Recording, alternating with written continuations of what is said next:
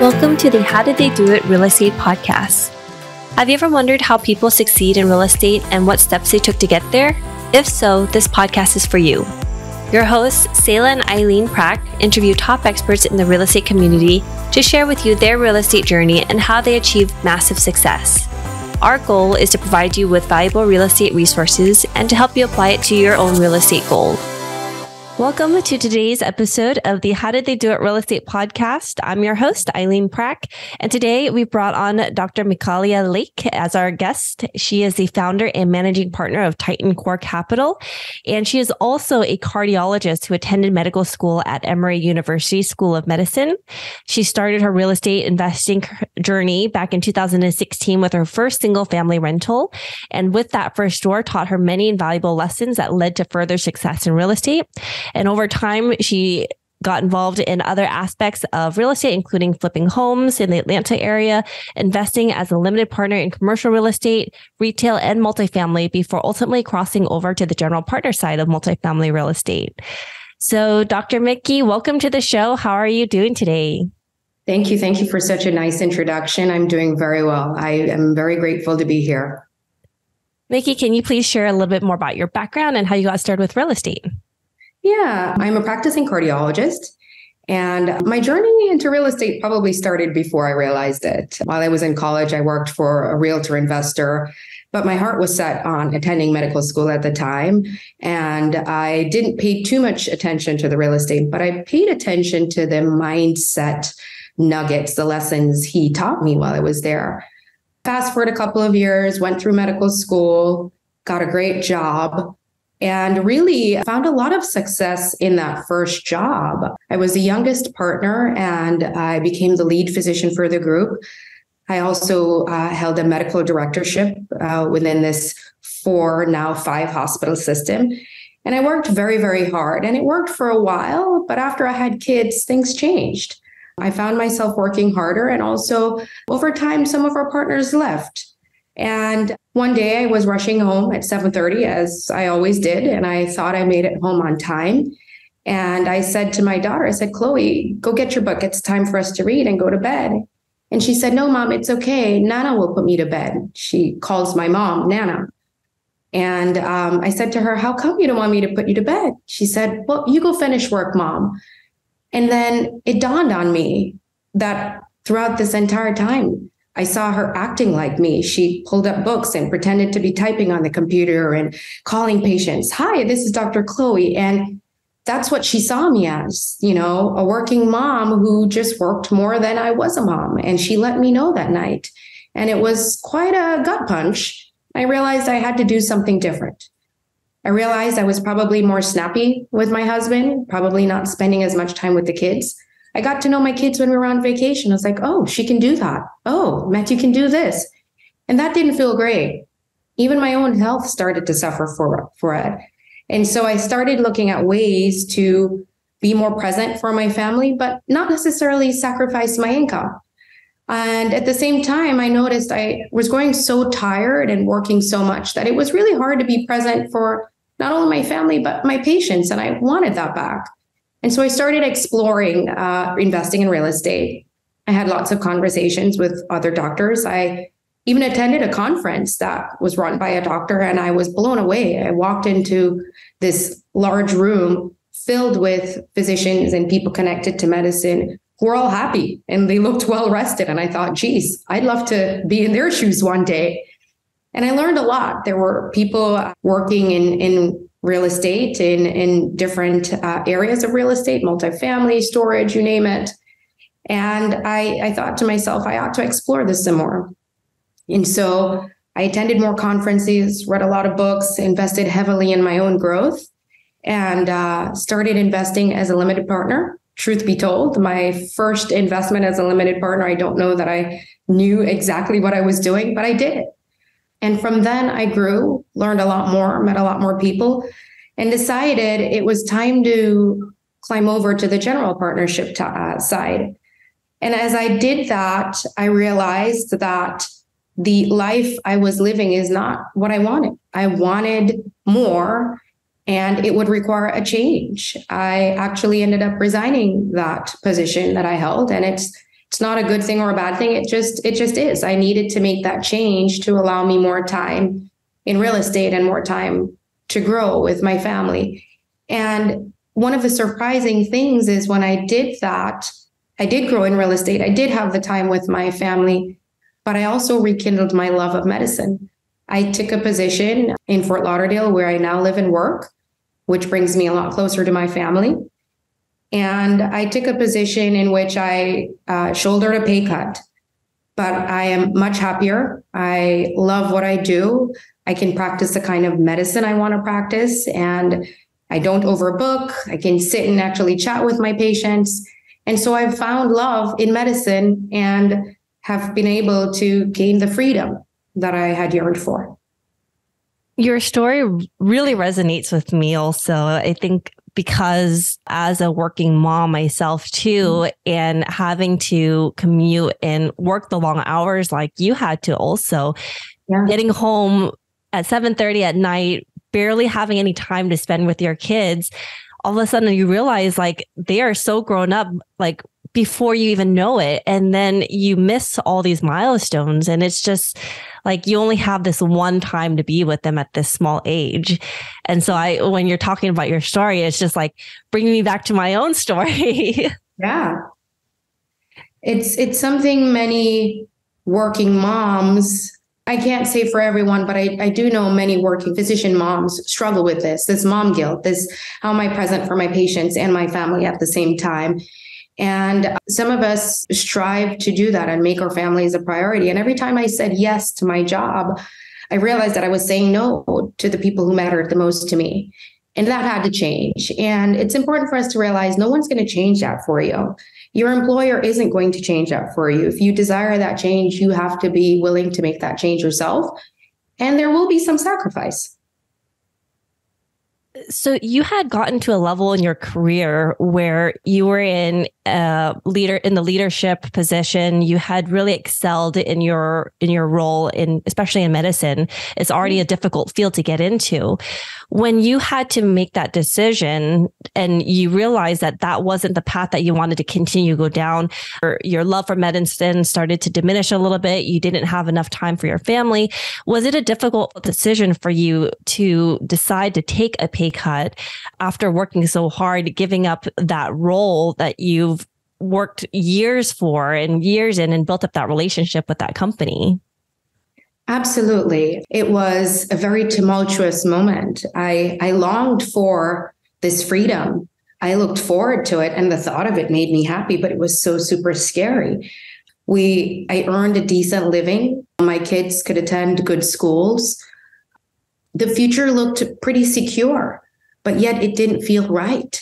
And so I got to the point where I knew I had to change something and I wouldn't have done it on my own, to be truthful. I had a coach who helped me focus more on the future and what there was to gain rather than what I was losing. And in actuality, I didn't lose very much. Maybe I lost a couple of titles, director of X, Y, and Z, but I gained so much more, and my life became more full. And I continued to practice just in a way that was better in, aligned with the way I see cardiology today. And so I'm grateful I took that leap, but it was very hard. And I think there are times in life where we're going to come at a crossroads and we're going to have to just make a decision that suits uh, what our priorities are at that time. I think something that you said really stuck out also it's it's the the titles when you're working in the corporate world when we grow up and we're in this environment of wanting to excel in our careers or wanting to work our way up the corporate ladder it's really to gain a sense of prideship and a, a, sense of accomplishment by reaching a certain level, a certain title. And yeah. then to realize that once you actually get to that level, not much has changed from where you kind of started off with. And does that really, is that really what you envision your life to be like? And some people it is. And some people they realize like I'm giving up hours of my day, sacrificing some time for my family and, and the things that I actually really am passionate about to do this instead where originally I thought that it was going to really give me that fulfillment, but in hindsight, it it maybe t- took a little bit more away than you had anticipated. Absolutely. And for anyone who is at a similar point in life and my best advice is look, you don't have to have all the pieces of the puzzle figured out. Many times, and many of the folks I know who've had a similar kind of journey, whether it's from medicine or the corporate world or law, you, you know you need to jump. And sometimes you're not sure where the path is going to lead you. And the path is often a little bit different than you think it is. But having a little bit of faith and persistence will get you there. And it's funny, one of the things that I, I, journal, I have, and I have a productivity planner that gives these little quotes at the top of it. And the universe just sends you what you need sometimes. And I remember seeing this quote, and I'm paraphrasing here, but it says, Do not lament so much about your career. It's not a career that you have, it's a life. And I think we ought to step back and, and try to just shift away from the external validation and think about what it is that we need in this moment and what's going to make us all happy moving forward. When you discovered real estate and wanting to get into that, what was it about that space that really resonated well with you and what you're trying to do, the lifestyle, in com- in also in conjunction with what you also love, which is medicine? Yeah. So one of the things about real estate, particularly multifamily, is is how crucial it is for human life, right? People need somewhere to live. And so health and housing aren't that different, right? People need both.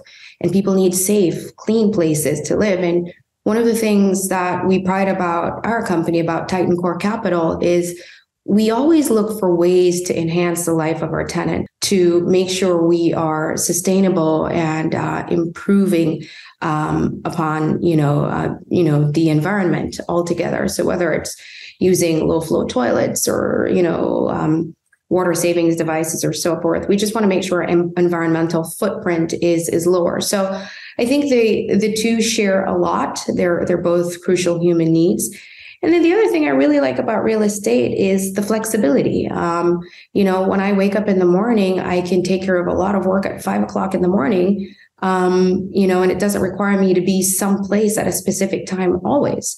So there's a lot of flexibility there. And I've just met wonderful people in real estate. I, I had wonderful doctor friends, but in my past life, I only had doctor friends. And now I meet a lot of other folks from different backgrounds, from law, from medicine, from the corporate world, teachers. Um, and it, it allowed me to grow in a way that I didn't realize. This isn't something I truly anticipated, but I've read so much more um, being in the real estate space than I did in medicine. In in the prior seven years, I had only read medical literature. And so I felt like I've grown exponentially as a human being, just reading all these wonderful books on mindset and just exploring all of that really feeds my soul. You also said earlier, too, you wanted to find a path that allowed you to maintain essentially your standard of living and being able to provide the same types of the same types of opportunities that you have as you're working the other job as a cardiologist as well. So when you were looking for it, what were some of the important things that you had to determine and evaluate as you were getting into real estate as well to make sure that you were on that same path? Yeah. So one of the things that this other part of my life needed to provide was income, right? And real estate is a really good way to gain cash flow to supplement one's income, to essentially buy back your time. So I was able to cut back on my W 2 job. I was able to avoid overbooking patients. I was even able to take vacations, which is interesting. I, I realize a lot of people don't know this, but many doctors don't get paid if they don't see patients. And so there are many physicians who don't take the vacation that they actually want. They don't rejuvenate themselves, they don't recharge because they're thinking if I'm not there, I won't be able to take home a paycheck. And so I was able to do all these things because of the cash flow that real estate was able to provide me with.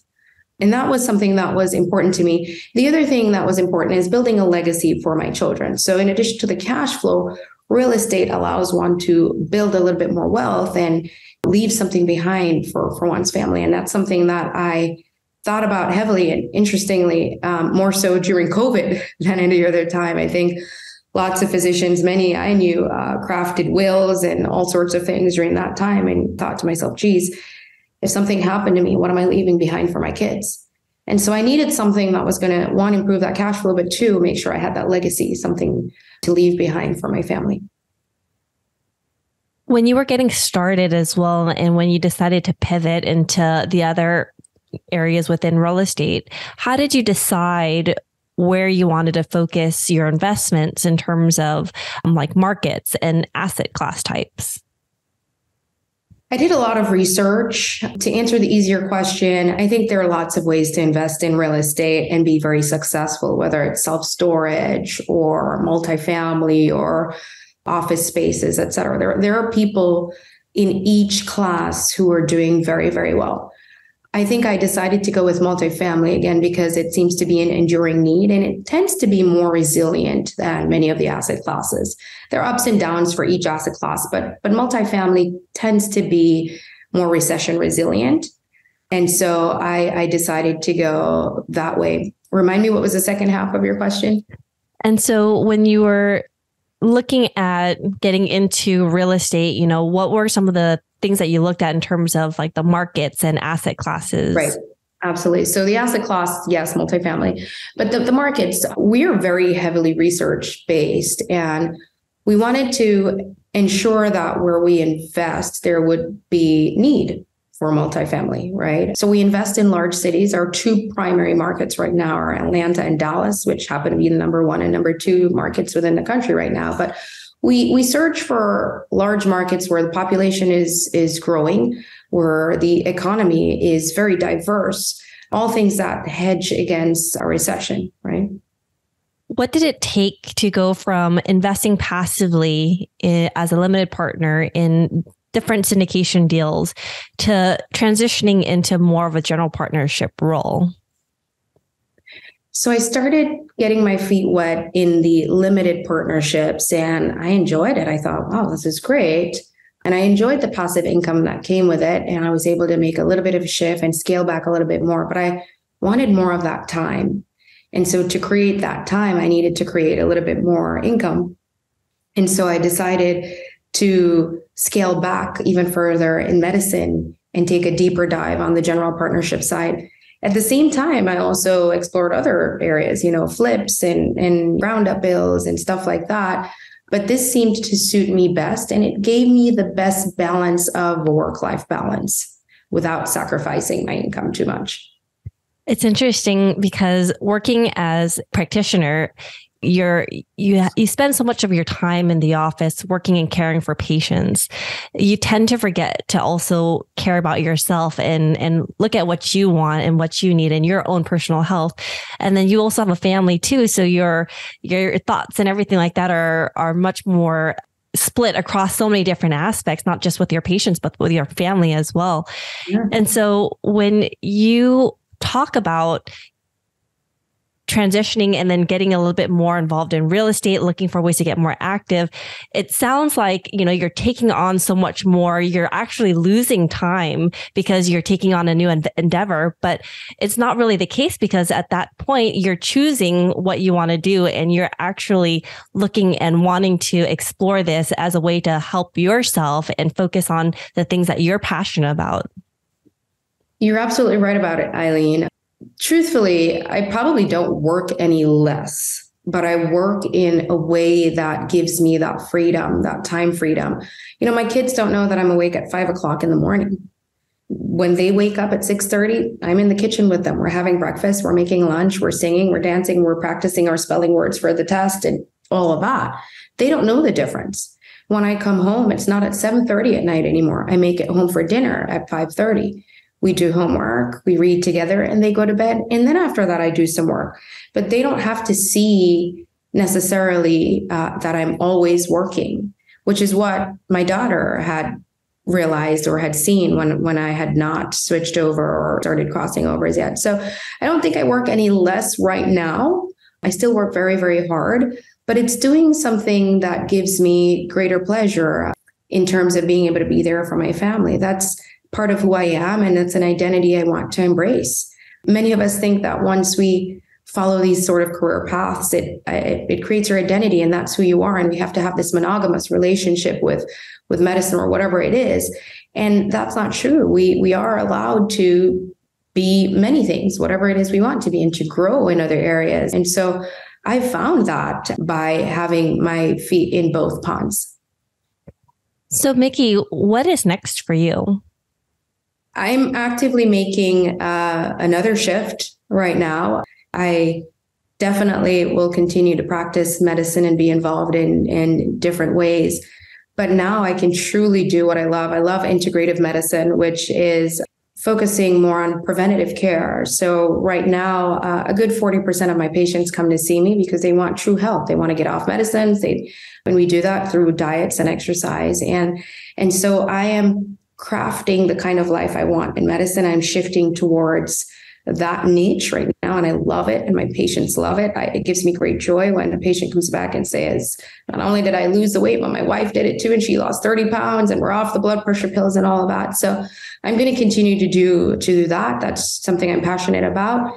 And uh, we're going to continue to grow our company. We're three years in. Sia, my partner, and I are very excited about the future. He's recently made a shift in his uh, career as well. And so we are looking forward to a very successful 2023 uh, and growing in the real estate business as well. And how has real estate investing impacted your life, Mikki? Freedom. If I had to use one word, freedom. The second word I would say is growth. I feel like a human being, Aileen. I I can exercise more. I uh, pay better attention to my diet. We, we talked about being there for my children more. And my husband and I both have aging parents, and it's important for us to be there for them as well. And um, it's all of this has allowed me to just focus more on leading a more impactful life. I live all out. But the the thing that we that I I've been able to do is just really live passionately and intently, and and real estate has allowed me to do that because of the freedom, the freedom of time. I love that you mentioned that also and how you've been able to live more passionately too and to being parents also, right? You said when you were working those long night shifts, coming home at 7:30, that's all your daughter had seen you do as a as a working professional. She didn't really separate what you actually were doing and how you were actually living your life. And then now to be able to see you doing what you love and living life more fulfilling, it really paves a path for her to try to figure out what she wants to do in life and how she can envision and the things that she could could accomplish too as she gets older and older. Absolutely. And I'll, I'll tell you a story. She sees that there are many different paths. She knows I work hard. And I want her to know that because, and I have a son too. I, I talk about her a lot because she she was the one who spoke to me on that day. But I want both of my kids to realize that in this world, you should work hard, you should want to work hard, and you should also want to create an impact. And I felt great when I saw her with a drawing of apartments on her notepad with her stethoscope around her neck. It's like, go girl, you could do whatever you want. As long as you work hard and you're persistent, you could do it. And what is the one thing that you know now about real estate that you wish you knew when you first started? Gosh, it's so much fun. I've met incredible people, and those connections that I have built, I would not have uh, been able to do so if I hadn't gotten into this space. Those connections and the personal growth, I have read so much more. And I think that feeds my soul and truly has helped me be a better human being in a way that I would not have imagined interesting, isn't it, that when you first in, embark on this real estate journey, that you focus on creating a lifestyle for yourself and creating some more freedom, but it also comes with all these other things that you didn't expect, like the network and the friendships and the personal development. All of this also comes with it as you yourself are starting to grow too. Yes, it's it's been a pleasant surprise uh, and one that I've fully embraced. And what is the one thing that sets the successful people apart in real estate investing? It's a mindset. having a strong growth mindset is absolutely key. Life happens. Winter comes every year. And as Tony Robbins says, some people are going to shrivel up and die in winter, and other people are going to learn to snowboard and ski. And, and having that strong mind, mindset, I think, is what helps the successful real estate investors learn how to snowboard and ski. And Mikki, where can our listeners find out more about you and what you're doing?